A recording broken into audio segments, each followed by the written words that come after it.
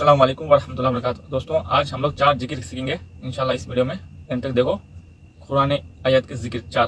बिस्मिल्लाह, शुरू करेंगे। जो दुआएँ कुरानी आती है, जो दुआएँ हदीस की, चूँकि ये ज़िक्र में सबसे अफजल चीज़ें हैं, याद ठीक? इसी तरह जो है, नबी अकरम सल्लल्लाहु अलैहि वसल्लम कुछ मखसूस ज़िक्र बताए हैं। मैं पूरे नहीं रखूँगा, मैं तीन ही रखूँगा, चूँकि वक्त नहीं था, लेकिन बहुत अहम तीन मैंने चुन के रखे जो इतने आसान है, इतने आम है, हम हमेशा कर सकते हैं, इंशाल्लाह। कम अज कम एक ज़िक्र की मजलिस थी, एक ज़िक्र का दर्श था, और तीन ज़िक्र तो सीख कर जाए, ताकि इसको ज़िंदगी में लागू कर तो हमारे लिए फ़ायदेमंद साबित होगा। आइए वो कौन कौन से मैंने तीन ज़िक्र चुने हैं कि मैं आपके सामने सिर्फ़ फजाइल बयान करने में कितने अहम अल्लाह का ज़िक्र वो रख रहा हूँ, वरना बहुत सारे और भी दुआएँ हैं। पहला जो है, नबी अकरम सल्लल्लाहु अलैहि वसल्लम फरमाते और कहते हैं, ज़िक्र के ताल्लुक से और इसकी अहमियत बताते हैं। और ये जो है तरगीब व तरहीब में जो है ये रिवायत मिलती है, जो कि सही रिवायत है। आप सल्लल्लाहु अलैहि वसल्लम फरमाया और कहा और फरमाया और हदीस के इस तरह से फरमाया, जो आपने फरमाया, इरशाद फरमाया कि जो शख्स दस मरतबा इन कलेमात को पढ़े क्या फरमाया? जो शख्स इन कलेमात को दस मरतबा पढ़ता है, वो कलेमात क्या है? ला ला शरीक कदीर। क्या कौन से कलमात बहुत आसान है, इसको आम जबान में चौथा कलमा बोलते हैं। अब ये अलग बात है कि लोगों ने एक से सात कलमे बना, कैसे बना, नहीं पता। लेकिन बहरहाल एक आम समझ के लिए बोल रहा हूँ, ठीक है? अव्वल कलमा, दुवम कलमा, सुवम कलमा, चारुम कलमा पंचमती चालू है, ठीक? हिंदुस्तान में सात कलमे, पहले हम जब सीखते थे, जब पाँच सीखे थे हमने लेकिन अभी नए बच्चे सात कलमे सीखते हैं, बहरहाल।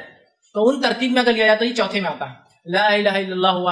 शरीक मुल्क कदीर। तो आप फरमाते और कहते हैं कि आप, आपने फरमाया कि जो शख्स इस कलमे को दस मरतबा पढ़ता है, ठीक वहदहु ला शरीक के अल्लाह जो है ला अल्लाह के सिवा कोई मबूद भरक नहीं, वो एक है, उसका कोई शरीक नहीं, ठीक है, उसके अल्फाज जो है लहुल मुल्क वल हमद उसी के लिए जो है, तमाम मिल्कियत है और उसी के लिए तमाम तारीफें हैं। वह अल्लाह कुल्ली शैइन कदीर। और वह तमाम चीज़ों पर कादिर है। ठीक है ठीक है? ये उसका तर्जुमा है। जो शख्स इसको दस मरतबा पढ़ता है दिन में, आप सब फरमाते हैं, उसका सवाब ऐसे है, गोया उसने बनी इस्माइल में से चार गुलामों को आज़ाद किया।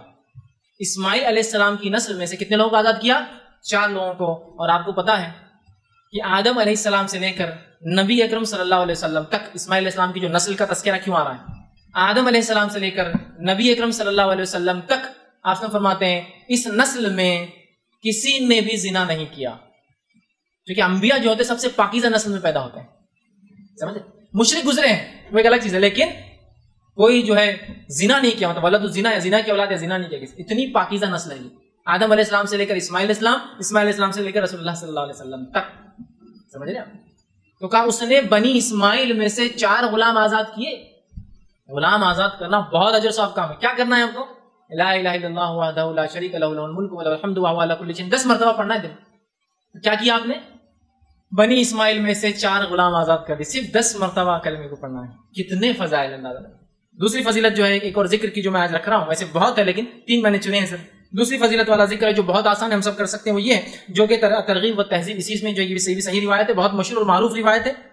कि आप सल्लल्लाहु अलैहि वसल्लम फरमाया, जो शख्स नमाज़ के बाद तैतीस मरतबा अलहमदिल्ला तैतीस मरतबा सुबहान अल्लाह तैतीस मरतबा, अल्लाह ऊपर कहता है और आखिर में ये कहता है, ला वहदहु शरीक लहु वही जो मैंने इससे पहले रखा।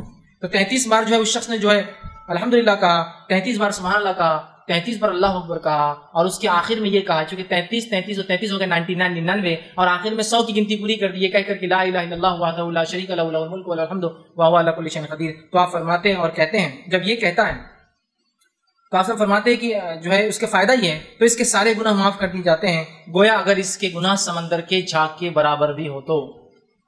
एक रिवायत ने फरमाया, ये पढ़ना गुलाम आज़ाद करने से ज़्यादा बेहतर है। एक रिवायत फरमाया, इसके पढ़ने से दस नेकियाँ हर उसमें मिलते हैं। मतलब उसको हज़ार नेकियाँ मिलती सौ बार पढ़ा ना? सौ पढ़ने पे उसको हज़ार दस, हर उस पे दस। तो हज़ार नेकियाँ मिलती है, हज़ार गुना माफ़ कर दिए जाते हैं। ये फजाल। इतना आसान है है ना? कि सारे गुनाह हत्ता के, समंदर के, झाग के बराबर गुना हो, कितने कसरत से सब माफ़ कर दिया गया। सिर्फ़ हर नमाज़ के बाद तैतीस मरतबा तैतीस मरतबा तैतीस मरतबा। अल्हम्दुलिल्लाह सुबहान अल्लाह अल्हम्दुलिल्लाह, और अल्लाह ऊपर कह दे, उसके सारे गुना माफ़। और ये गुनाह सगीरा होते हैं कबीरा के लिए तोबा ज़रूरी होती कितने फजाल। है तीसरी चीज़ जो मैंने जो बहरहाल आज के लिए चुनी है, वो ये है, और बहरहाल एक और है, चार मैंने वो की है तीसरी चीज़ जो चुनी है, वो भी बड़ी आसान है। बहुत आसानी से हम कर सकते हैं और सबको याद है। आप सल्लल्लाहु फरमाते हैं और कहते हैं ये हदीस जो है जो है तरगीब तहजीब की आपने फरमाया कहा, जो शख्स जो शख्स, ठीक है, ये पढ़े, जो है, ला हौला वला कुव्वता इल्ला बिल्लाह, हदीस का अल्फाज इसलिए है, कुल, ला हौला वला कुव्वता, जो शख्स इसका वजीफा करे, ला हौला वला कुव्वता इल्ला बिल्लाह फइन्नहु कंजुम मिन कुनूजिल जन्नह कि हदीस के अल्फाज है, कुल, ला हौला वला कुव्वता इल्ला बिल्लाह फइन्नहा कंजुम मिन कुनूजिल जन्नह कि जो शख्स ला हौला वला कुव्वता इल्ला बिल्लाह, ये पढ़ेगा तो ये जन्नत के खजानों में से एक खजाना है।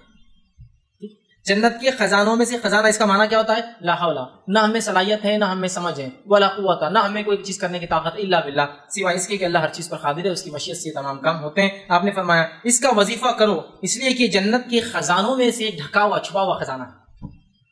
ला हौला वला कुव्वता इल्ला इतना ही पढ़ना है, कभी भी आप पढ़ सकते हैं। आम। चौथा जो एक हदीस जो सही बुखारी की है और सही बुखारी की आखिरी हदीस है लास्ट ठीक है? हदीस के अल्फाज देखिए क्या है। कलीमताने, हबीबताने, इला रहमान। दो कलमे ऐसे हैं जो रहमान को बड़े पसंद हैं। खफीफताने अल निशान। बहुत आसान है इंसान की जबान में। बड़े हल्के होते हैं जबान के एतबार से। सखीलताने फिल मीज़ान। लेकिन बहुत वजनी भारी होंगे रोज़ क़यामत मीज़ान के अंदर। सुबहान अल्लाह वबहमदी व सुबहान अल्लाह अज़ीम। दो कलमे ऐसे हैं, जो रहमान को बड़े पसंद है होठों पर बड़े हल्के हैं, मीज़ान में बड़े भारी है। सुबहान अल्लाह व सुबहान अल्लाह अज़ीम। दो ही कलमे। किसको याद नहीं सबको याद है। बस उठते, बैठते, सोते, जागते, जब याद आए सुबहान सुबह सुबहान पढ़ दी जाओगे। समझ रहे आप तो ये बड़ी अहमियत की हामिल है। और कितने फजाइल इनके देखिए आप, बताए जा रहे हैं इनके पढ़ने के बारे में। और ये बहुत आसान अमल है याद रखें, ठीक? तो हम अल्लाह के ज़िक्र के मामले में बहुत मोहतात रहें